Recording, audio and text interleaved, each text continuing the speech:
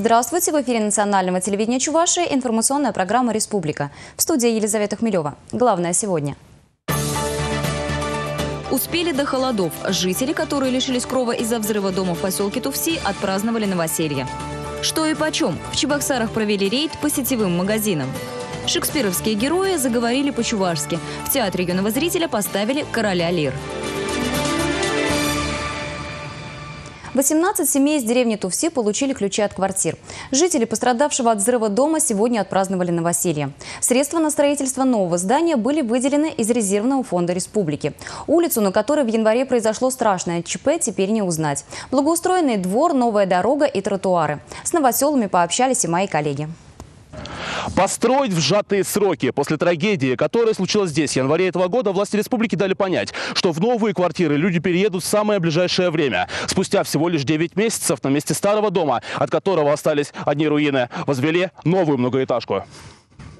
Семьи, которые в один миг остались без крова, этого момента ждали с нетерпением. Кто-то все это время ютился у родственников, кому-то временное жилье подыскали районные власти. Переезд в новые квартиры надолго не затянулся. Люди возвращаются обратно в родную деревню Туфси. О трагедии жителям напоминают только руины. Их огородили лентами. Знак неподалеку указывает, что это опасная территория. На торжественной церемонии слова благодарности звучат в адрес строителей. Возвести жилье им удалось раньше намеченных сроков, но главное до наступления холодов.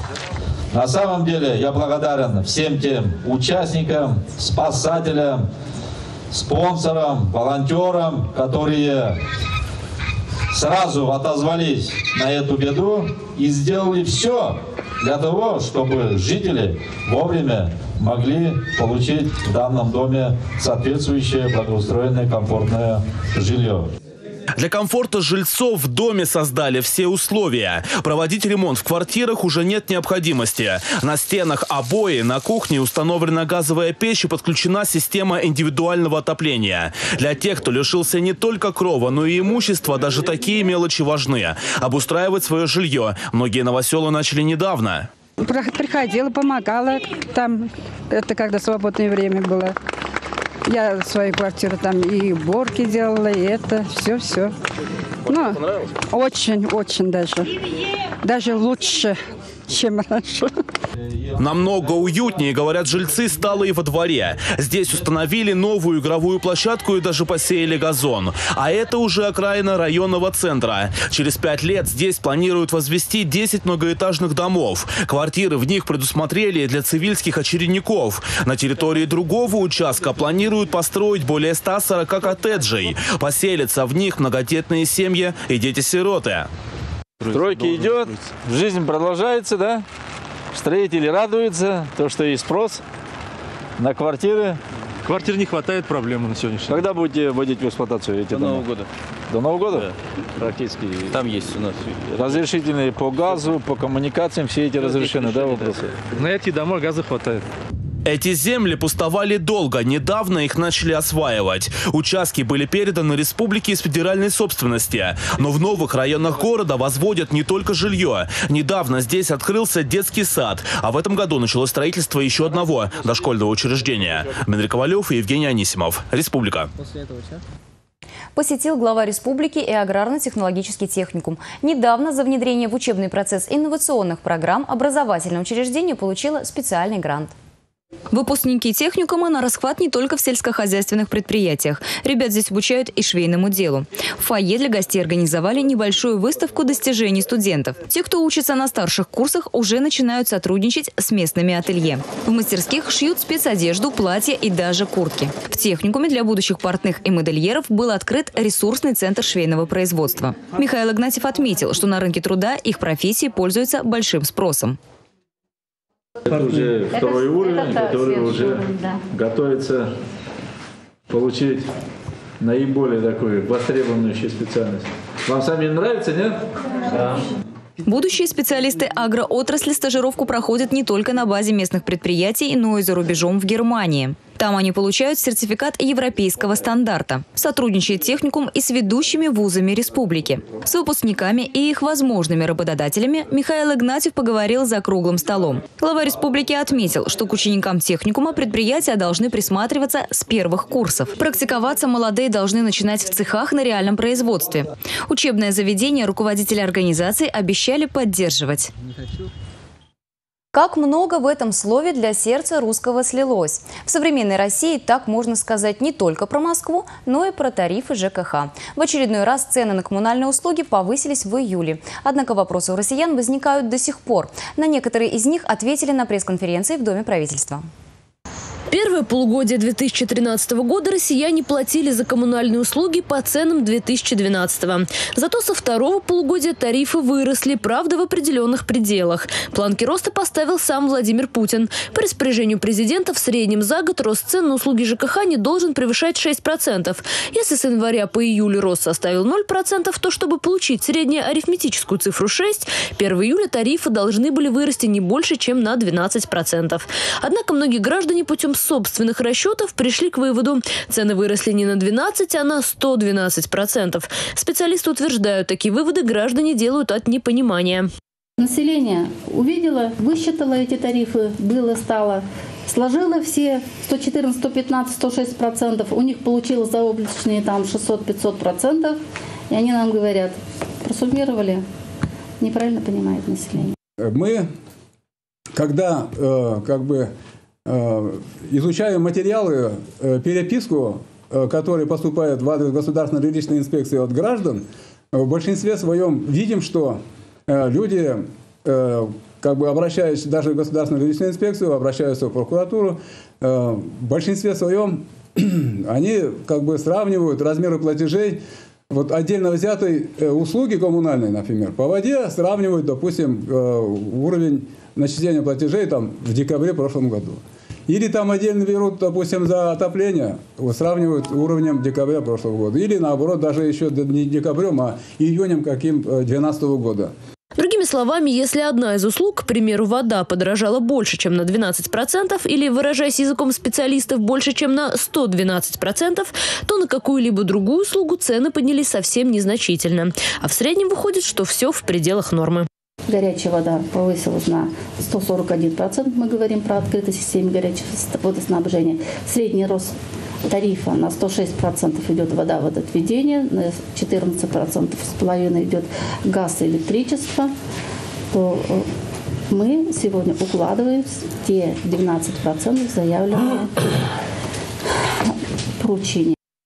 Так или иначе, любые обращения граждан, а их с начала года поступило более полутора тысяч, проверяются. По результатам проверок выявлено более 560 нарушений, выдано 465 предписаний. Впрочем, даже если все начисляется по закону, платить россиянам от этого легче не становится. Облегчить ситуацию могут специальные субсидии. К примеру, положены они тем, кто тратит на оплату жилья и коммунальных услуг больше 20% дохода.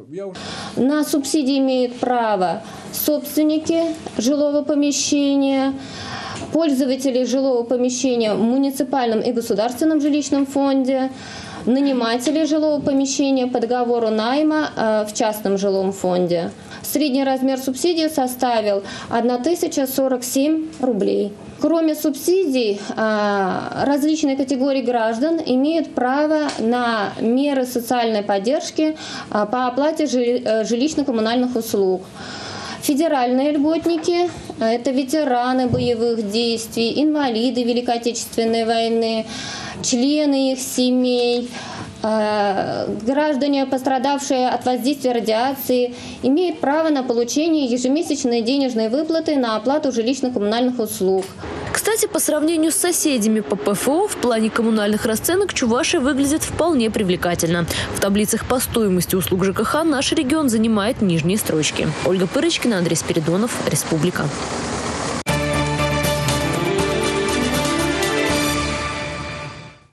Сегодня, после летнего перерыва, депутаты Чебоксарского городского собрания собрались на очередное заседание. О том, что должно измениться после него в городской жизни, расскажет Ольга Пырочкина.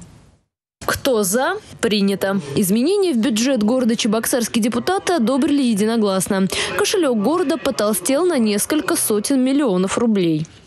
Соответствии с предложенным проектом бюджет города Чебоксара на 2013 год увеличивается по доходам на 301 миллион 492,6 тысяч рублей. Это достигается за счет прогнозируемых дополнительных поступлений налогов и налоговых доходов в сумме 139 миллионов 486,1 тысяч рублей. И также за счет увеличения в сальдированной сумме безвозмездных поступлений от бюджетов других уровней на 162 миллиона 6,5 тысяч рублей. Дополнительные средства потратят на выплаты зарплат бюджетникам и на строительство спортивных объектов. На 137 миллионов больше, чем в прошлом году, направят на жилищно-коммунальное хозяйство. Кроме того, деньги пойдут на благоустройство. Впрочем, эту сферу на заседании обсуждали отдельно. Дело в том, что теперь у столицы Чувашии появился специальный объемный документ под названием «Правила благоустройства территории города Чебоксары». Четко прописаны такие моменты, как, к примеру, допустимые расстояния от окон жилых домов до мусорных баков, возможные места расположения площадок для выгула собак, правила устройства парковок и вывоза мусора. Правда, до сих пор остаются территории, с которых мусор не только некому вывозить, но и убирать. Эта работа продолжается. Такие территории, к сожалению, продолжают выявляться. Мы их по мере выявления также закрепляем за администрациями районов. Ну а еще одно изменение, которое также приняли депутаты, денег, вероятно, в бюджет не добавит, но значительно облегчит жизнь тем, кто занимается социально значимым бизнесом, а значит и всем горожанам. Предприниматели, которые арендуют у города помещения под частные детские сады, теперь будут платить на 70% меньше. В целях развития э, организации детских дошкольных учреждений на территории города Чебоксара предлагается применить льготный коэффициент к рыночному размеру арендной платы. Э, в настоящее время этот коэффициент э, составляет 0,3. То есть э, фактически 30% от рыночной стоимости размера арендной платы будут оплачивать такие организации. Прошу поддержать проект решения. Также 31-е заседание депутатов изменило устав города, порядок приватизации городского имущества и положение по перевозке пассажиров общественным транспортом. В повестке не означилось 16 вопросов. В следующий раз собраться депутаты планируют в октябре. Ольга Пырочкина, Александр Петров, Республика. Сегодня представители городской администрации Чебоксар провели очередной рейд по сетевым магазинам столицы. Проверяющих интересовало, насколько широко представлена продукция местных товаропроизводителей и как отличаются цены. Самая дешевая колбаса которая? Так, Атяшева. Атяшева. А дальше? Больше никого? Звенигова, Бурнара. Такую проверку несколько недель подряд проводили в сети магазинов «Магнит». Комиссию тоже заинтересовали цены, продукты и внешний вид торгового зала. Теперь очередь дошла до магазинов «Калач» и «Спар» в северо-западном районе столицы. По словам начальника управления потребительского рынка и предпринимательства, в администрацию города неоднократно поступали жалобы от жителей на стоимость продуктов. Не обнаружили проверяющие и логотипы «Покупай Чувашская». Я не знаю, чья она.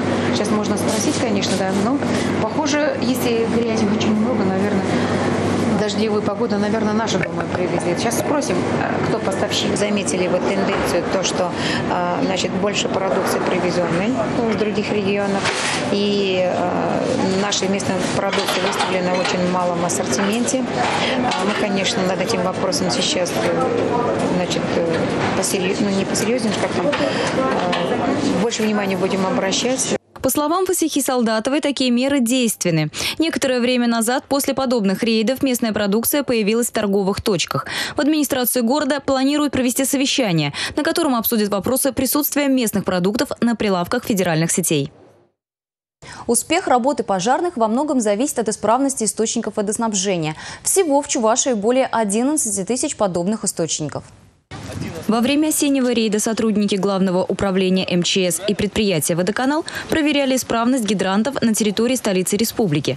Сейчас в Чебоксарах всего более трех тысяч источников водоснабжения. Во время рейда проверили почти две тысячи. Из них 168 неисправны. Два гидранта у одного из корпусов педуниверситета оказались нерабочими. Были составлены акты. Если нарушения не устранят, то организация оштрафует. По словам специалистов, цистерны хватает в среднем на 5 минут работы пожарных. Поэтому Поэтому во время чрезвычайной ситуации брандмейстеры в первую очередь устанавливают машины на подобные гидранты. Завершилась масштабная тактика специальное учение, проведенное Республиканским оперативным штабом по управлению контртеррористическими операциями на территории Красноармейского и Цивильского районов учений с применением авиации и военной техники отрабатывались способы противодействия диверсионно-террористическим группам, проникшим в республику для совершения теракта. Группировка сил и средств оперативного штаба совершенствовала навыки взаимодействия в условиях, максимально приближенных к боевым. Особенностью стала высадка тактического воздушного десанта, замкнувшего кольцо блокирования учебного противника. Также отработаны задачи переброски бронетехники в заданные районы по воздуху. Применение авиации позволило повысить мобильность и огневую мощь силовой группировки. Совместными действиями подразделений специального назначения учебный противник был блокирован и уничтожен. Завершилось учение обезвреживанием взрывоопасных предметов и отработкой действий следственной группы по расследованию совершенного преступления. Результаты учебной контртеррористической операции ценены положительно. Все звенья управления и личный состав действовали слаженно.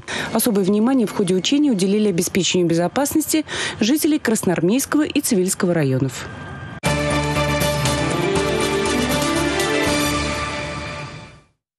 О культуре. Король Лир и его подданные заговорили на чувашском языке. В Театре юного зрителя премьера спектакля по пьесе Уильяма Шекспира. Произведение гения с мировым именем на чувашский язык перевел Владислав Николаев. Именно этой постановкой открылся 81-й театральный сезон в Тюзе. На премьере побывали и мои коллеги. Последние приготовления, волнение нарастает. Наталья Шамбулина готовится особенно тщательно. К Шекспиру питает слабость с малых лет. К этой роли шла долго. Еще когда ставили Ромео и Джульетта, я очень мечтала сыграть кормильцу, но не получилось, видите. И я очень рада и счастлива, наверное, что именно в, э, в «Короле Лире» досталась мне эта роль Ганерильи, старшей дочери. Спектакль поставил художественный руководитель театра Станислав Васильев. Признается, что работать было интересно. Сама постановка получилась не совсем обычной. По декорациям, костюмам героев и реквизиту сложно определить, в какой эпохе происходит действие. В сценографии очень много символики. Постановка заставляет по-новому взглянуть на классический шекспировский сюжет.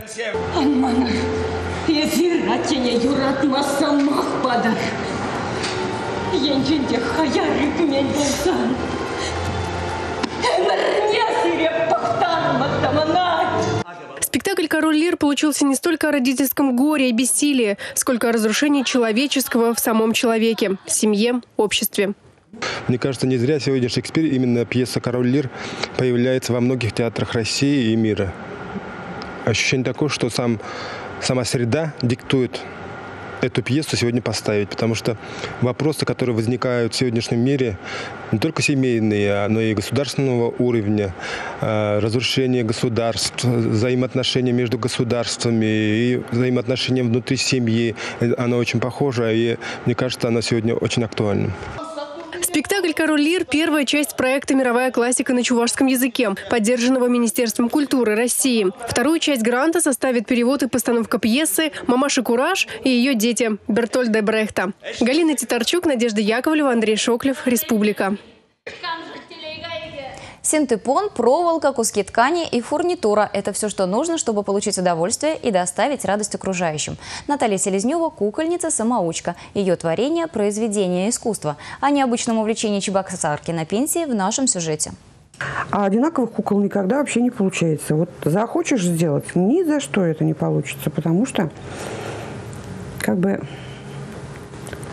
сам процесс всегда вот уже улыбочка появляется. Видите, вот здесь вот. Вот так, стежок за стежком в руках Натальи Ивановны начинает оживать кукла. Форма тела, цвет глаз и волос подбираются в процессе изготовления. Какой получится кукла, не знает даже сама хозяйка. Все зависит от настроения и подручного материала.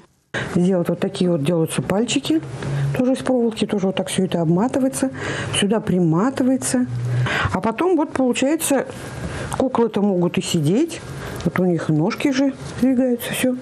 Ножки могут и стоять, куклы. Ангелина, Дульсинея и Кузьмич особенные для Натальи Ивановны. Они у нее первые. Второй этап творческого развития – изготовление панно по фотографиям. Процесс не менее трудоемкий, но результат того стоит, говорит кукольница. Среди любимых работ – панно с изображением снохи и сына, автопортрет. Такие косички вот у меня тут. Это я вот как раз. Галстук искала, но нашла на Арбате на нашем, когда День города был или День республики. Ой, так обрадовалась, что галстук нашла. Рукоделием Наталья Селезнева занимается два года, с тех пор, как вышла на пенсию. 20 лет она проработала в налоговой службе. Новое увлечение приносит много радости и удовольствия, рассказывает мастерица.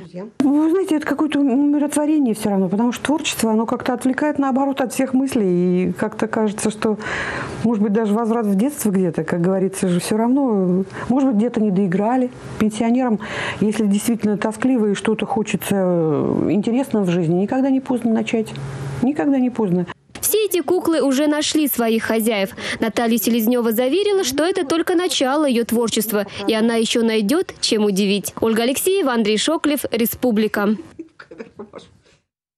Герои следующего репортажа начинают творить с детства. Семья, дом, любовь – это то, в чем нуждается каждый человек. А эти дети особенно остро. Чувства они выражают в своих работах. Мои коллеги побывали на выставке «Детство, творчество, фантазия» в Центре психолого-педагогической реабилитации.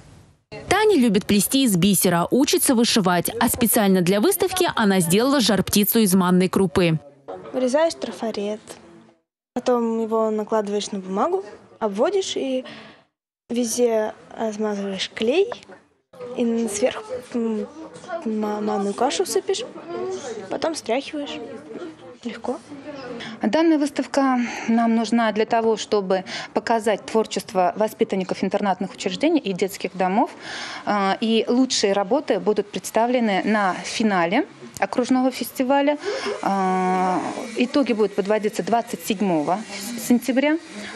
Жюри будет выбирать по трем номинациям. Пять лучших работ будут представлены в Республике Мариэл на финале конкурса. В региональной выставке прикладного творчества принимают участие 11 интернатных учреждений и детских домов. Выставка «Детство, творчество, фантазия» проходит в рамках реализации проекта ПФО «Вернуть детство». Его цель – выявить талантливых творческих детей среди воспитанников интернатных учреждений. В душе у всех детей прежде всего семья, что у ребенка должны быть и отец, и мать. И это видно вот во многих картинах. Вот две кошечки, э, два веселых гуся. Тут целый ряд, целая серия кукол, где указана семья. И вот дети, наверное, непроизвольно, вот изнутри у них это происходит, э, доказывают, говорят о том, что что они нуждаются все в семейном окружении. Этот зал – продолжение предыдущего. Уходим от лебедей, цветов, жар-птиц и попадаем в молочную страну. Здесь кубики из кефирной тары, бинокль из йогуртовых бутылочек, смешарики и елочки из молочных пакетов. На лугу пасутся ко. Так называется конкурс творческих работ. Далеко это ферма коровья. Там пасу много коров. Я, и там машину приезжает, она в Ядане. И вот они перевозят это ядерское молоко в Чебоксары. В этом конкурсе принимают участие все школьники Чебоксара Новочебоксарска. Победителей определят 28 сентября. Татьяна Трофимова, Николай Яковлев, Республика. Это все, о чем мы хотели рассказать вам сегодня. Я прощаюсь с вами до завтра. Всего вам доброго. До свидания.